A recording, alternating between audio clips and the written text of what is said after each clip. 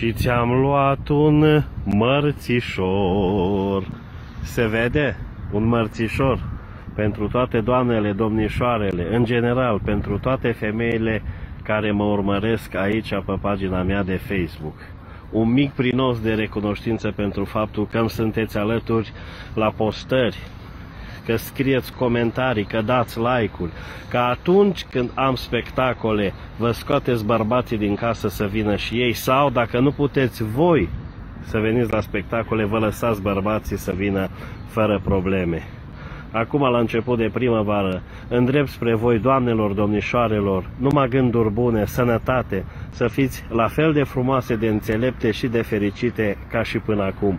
Să nu vă lipsească nimic. Nicu Bendea vă pune pe suflet vorba lui Condurățeanu, dita mai mărțălău. De ce? Pentru că meritați.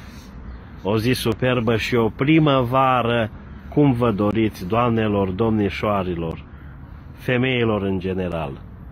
Sărut mâna! Ați observat că, apropo de subiectul ăsta, ați observat că arestații politicieni parcă sunt despriși din emisiunile de la ProTV? Pe la început, când au nevoie de votul nostru, fac orice. Parcă sunt la români au talent. Cântă, dansează, dresează câi, orice fac. Când li se ia imunitatea, țipă, cântă, își dau drumul la voce, parcă sunt la vocea României. Iar când intră la închisoare, fac apeluri peste apeluri. Sunt celebru! Scoate-mă de aici! Respirați profund.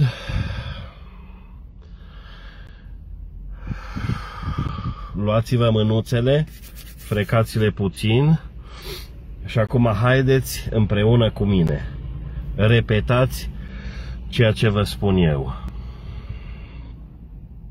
Mă accept așa cum sunt, senin și profund. Mă accept așa cum sunt, senin și profund. Chiar dacă virusul îmi provoacă îngrijorare, eu rămân așa cum sunt, senin și profund. Aleg să rămân calm. Expirați. Iarăși, virusul nu mă face slab, virusul nu mă face vulnerabil. Rămân Rămân senin și profund. Dați-vă două palme când auziți chestiile astea făcute sau spuse de șarlatan, da? Că nu ne trece nici virusul, nu trece nici virusul dacă facem chestiunile astea, nici bătăturile, nici nu ni se umple contul de bani. Ne spălăm pe mânuți, atenție la aglomerații, vitamina C, da? Și fără panică, fără panică, fără... Senin și profund. Atenție la șarlatani. O fi virusul ăsta foarte periculos, dar atenție și la prostie că și ea e foarte contagioasă și știți care, care e baiul? De virus mai scapi, de prostie mai greu.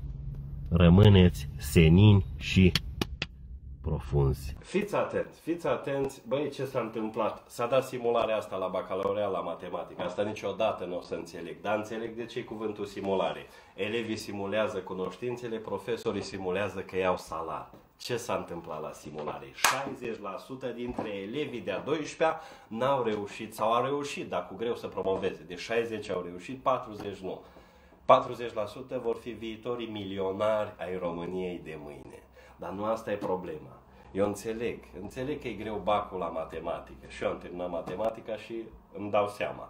E greu la fizică, e greu la chimie. Mă, dar limba română, limba română o vorbim din viața intrauterină, nu? Te duci la ecograf, vorbește tati cu copilașul și asta, limba română, dă cele mai multe perle. Fiți atenți ce perle au ieșit anul ăsta, zice unul. Arghezii, Cine să-l înțeleagă pe omul ăsta? Sunt sigur că viața lui era tristă pentru că nu avea prieteni cu care să iasă la o bere.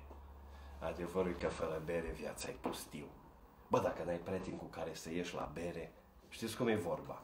Berea după bere e plăcere. Dar mai știți și vorba aia ardelenească. La bere, reclama aia la bere, zice că prietenii știu de ce. În Ardeal, șogorii știu și cum.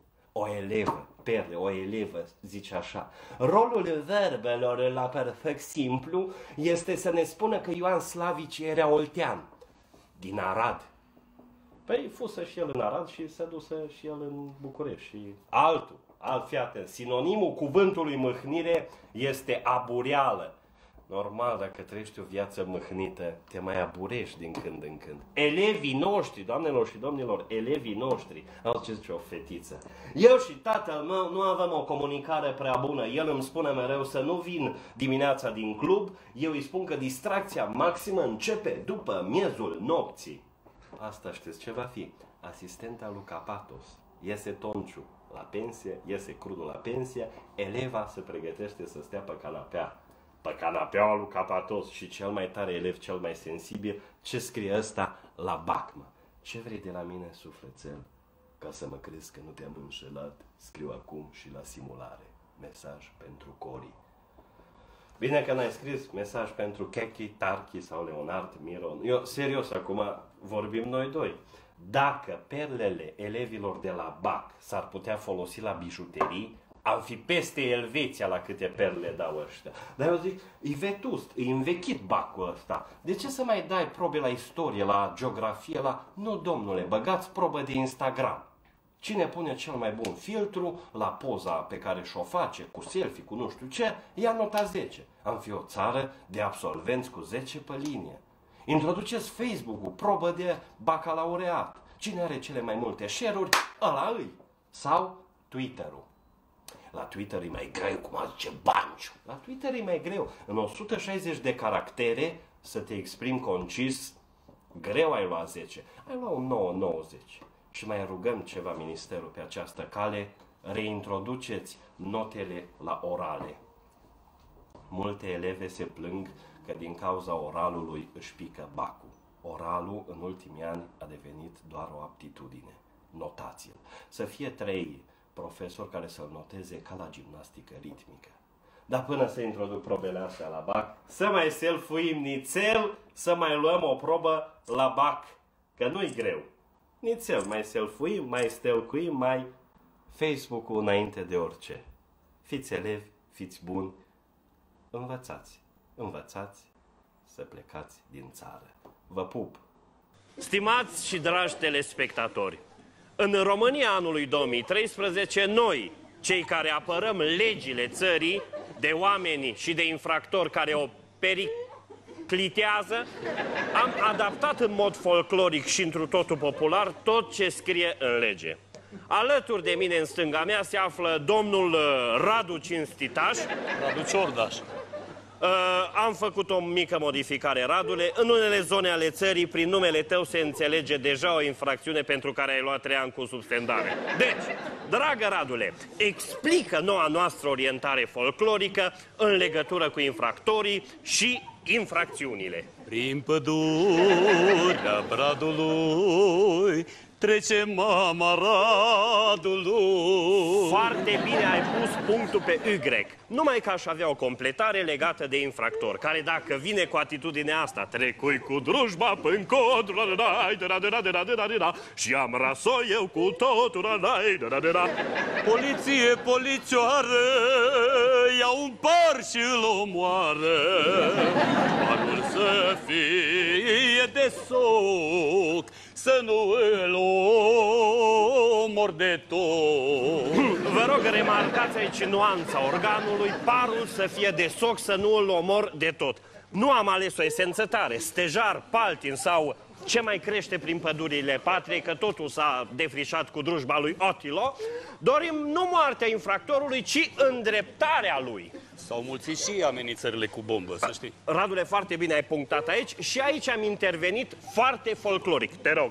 Deschide, deschide fereastra, numai o bombă să spun, că toată lumea din bloc știe că tu ai dat un ton. Aici poate să intervină inculpatul în apărarea sa, mai ales dacă are tenul măsliniu. Ia ascultă aici, Radule, stați mascacilor, nu vă la mama, nu vreau pe mama mea ca să o speriați. Și? Și foarte bine ai continuat, exact, s-au mulțit și infracțiunile, s-au mulțit accidentele rutiere. Un exemplu, maestre, un exemplu foarte folcloric.